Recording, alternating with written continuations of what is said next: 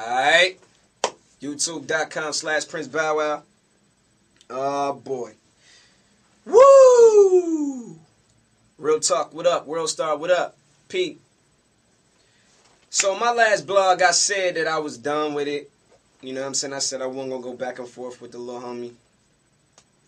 But um, I look up and I see, you know, shout out to the to the homie Ski.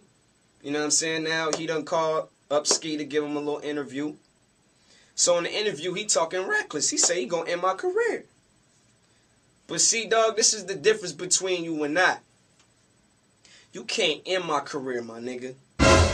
You can't. I work hard. I work over hard. I've been working since you was even thought of. You know what I'm saying? Straight up. Since five, I'm, I'm about to turn 22. I've been working non-stop. Non-stop. Consistent hit records. Consistent arena tours. Consistent everything. Consistent serving the youth and serving my fans and your fans with heat. Don't forget, the only reason why you in the game is because of me. Ever since Kris Kross, there hasn't been another young cat to come along and fill that void. I made that opportunity and I made that possible all over again. So if that never would have happened, you wouldn't even be here, nigga. And I told myself, I'm not I'm gonna tone it down. I swear to God, I'm gonna tone it down. I'm gonna tone it down. But you said you was gonna end my career. Soulja Boy, you are finished. You are done. You are done. I try to let it slide. I said that's the little homie. It is what it is. But see, this is where he don't understand. See what Soulja Boy. See what the people don't understand is you initiated this. You feel me? You got to check your background and size up your competition. I don't even consider you competition, but if you want to pick somebody for a match, you got to make sure it's it, it, it's a, it, it's equivalent on sheet to your sheet. And my stats don't match up with Soulja Boy's stats. I'm way out of your league, man. And I, and I feel bad because it ain't nobody around you to coach you, to talk to you. See me, I had a big homie like JD who who spoke to me when I got out of line. See, I knew when I was getting out of line because I had homies around me that would always tell me, yo, bow, chill, chill, chill. Like when you made that Nas comment, you pissed a lot of people off with that comment. And being that you don't get love in the hip hop community in the music business, you would think that that's one person that you wouldn't talk about because that man is highly is very highly respected and he's a big homie of mine who I talk to. And not only is a big homie of mine, but he's a big homie to every other hip hop fan.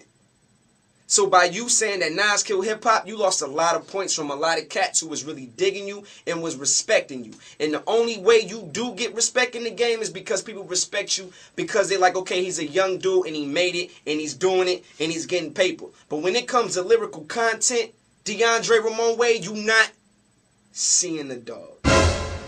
And the people know that. You too busy trying to be Gucci Mane. You too busy trying to be OJ the Juice man.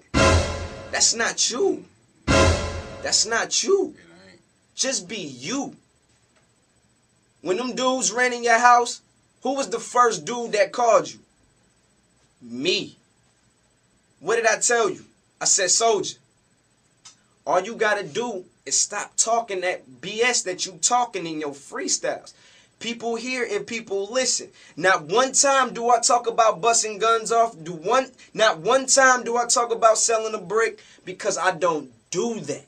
But when you put your business out there and you expose yourself out there and you do your rich nigga shit and you stunting extra hard and you wiping your nose with hundred dollar bills, you asking niggas to be on you. You asking niggas to to, to, to want to do something to you just to prove a point. See, me, I always play my lane. That's why I get respect because I never try to go outside of my lane. Now, what you just did by trying to quote unquote say you gonna end my career? See, now you stepping out of your lane once again. So I might have to smack that ass. You know what I'm saying? And like I said, it's messed up because he don't got homies around him to talk to him and teach him and tell him. So it, it, it's kind of like your fault because you 18 years old. I consider you a grown man, so I so I, so I'm hoping you can handle yours like a grown man. Cause I'ma handle mine. You feel me? So on that note, You're done. Don't call me. Don't I don't want I'm like T.I. What he saying, AT? I don't want to kick it with y'all. I don't want to skate with y'all. I don't want to do nothing. Cause now it's on. I got a record I'm about to drop today that I already pre-recorded because I knew you was gonna come up, fumble up on some bullshit. And when this record drop, it's tombstone for you, little homie. We all gonna lay roses on your coffin. Cause your career is R.I.P. You're done. You're over. Every battle that Soulja Boy has ever been in, he hasn't started it. See this nigga? This the first battle that he started. And that he knows he can't finish. But the fans, the fans, they know that the dog gonna finish. They know that by you trying to go at me, you giving me the fuel that I need to go harder. Telling you, boy, we on your ass now, boy. Hey, what he saying, minutes? What he saying, society? What he saying, minutes society? How's tell tell Soulja Boy what they say. What they say, of society? Yo, you know you fucked up, right? You know you fucked up, right? You done fucked up now, boy. You done fucked up now, boy. Soulja Boy is over. You're done. You're finished. Over.